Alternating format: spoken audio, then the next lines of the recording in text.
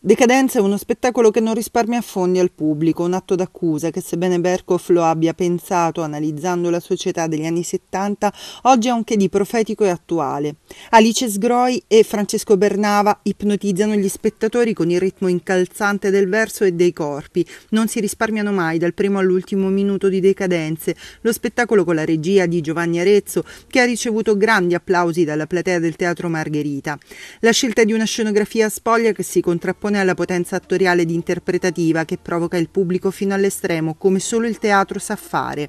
Lusso, alcol, droghe, sesso e decadenze. Questo è uno spettacolo pieno di parole, di ehm, pensieri, eh, di parole anche in rima, perché ricordiamo che è uno spettacolo in versi, che vomita situazioni che poi di fatto non si avverano, restano solo nella mente dei personaggi.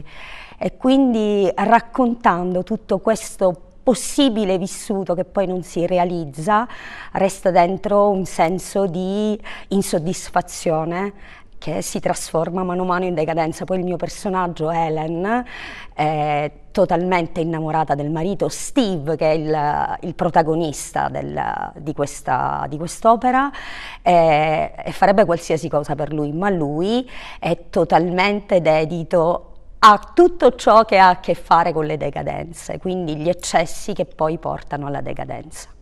Scenografia essenziale, pochi gli oggetti sono le luci a portare il pubblico dentro il successivo quadro scenico, tre i colori dominanti, il beige, il verde il fucsia, poi musica, voci, parole che disinnescano ogni tabù. E i quattro personaggi con le loro dannazioni che, come scrive Berkoff, sono diamanti frantumati che si squagliano nel vizio. Abbiamo lavorato con il regista per avvicinarci a questi ruoli, soprattutto eh, col senso dell'ironia e eh, mh, eh, il testo è in versi e quindi usando anche molto la musicalità del, del, del testo e, e, questo ha evocato tutta una serie di eh, immagini e situazioni che sono estremamente potenti. Questi personaggi, Steve e Les, mh, ovviamente in, direzioni opposte, ma sono estremi. Proprio per questo la loro decadenza eh, arriva a punti quasi di non ritorno e, mh, e to tocca temi che sono assolutamente attuali, vari, perché si passa da un, da un tema all'altro eh, quasi senza soluzione di continuità e, e cioè, ci, sbatte in faccia un po' tutte le nostre eh, le nostre debolezze, debolezze della società.